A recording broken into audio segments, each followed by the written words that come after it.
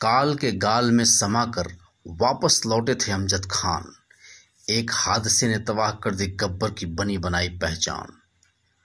नमस्कार दोस्तों, मैं Ajay Dwivedi 108 united lead India में आपका हार्दिक स्वागत करता हूँ। कितने आदमी थे डायलॉग से मशहूर हुए बॉलीवुड की एक्टर अमजद खान, आज भी लोगों के दिलों में बसे हुए हैं। यूँ तो उन्होंने कई फ़िल्मों में काम किया था लेकिन ज़िक्र जब भी उनका होता है तो जुबा पर गब्बर सिंह का नाम ज़रूर आता है।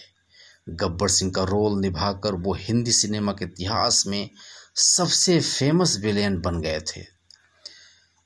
अमजद खान का निधन आज के ही दिन 27 जुलाई उन्नीस सौ बानबे को हुआ था। अमजद खान ने गब्बर सिंह के अलावा ऐसे कई किरदार निभाए जिनको भुलाया नहीं जा सकता। हर कोई आज भी उन्हें दिल से याद करता है। अमजद खान, अमिताभ बच्चन के साथ फ़िल्म द ग्रेट गैम्बलर में काम कर रहे थे।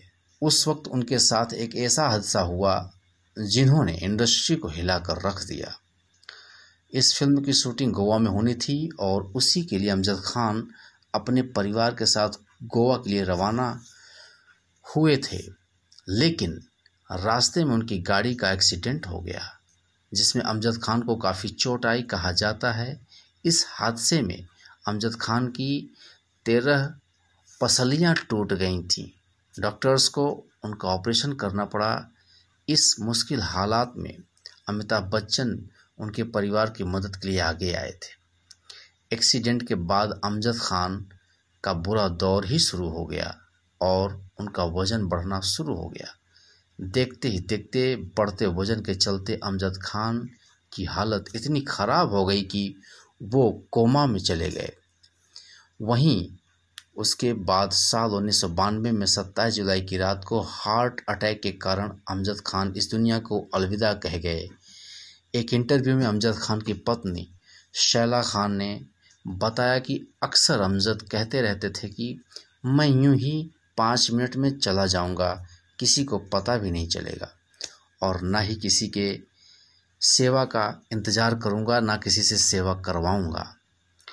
और हुआ भी ऐसा ही, आज उनकी डेथ एनिवर्सरी पर सभी उन्हें याद कर रहे हैं।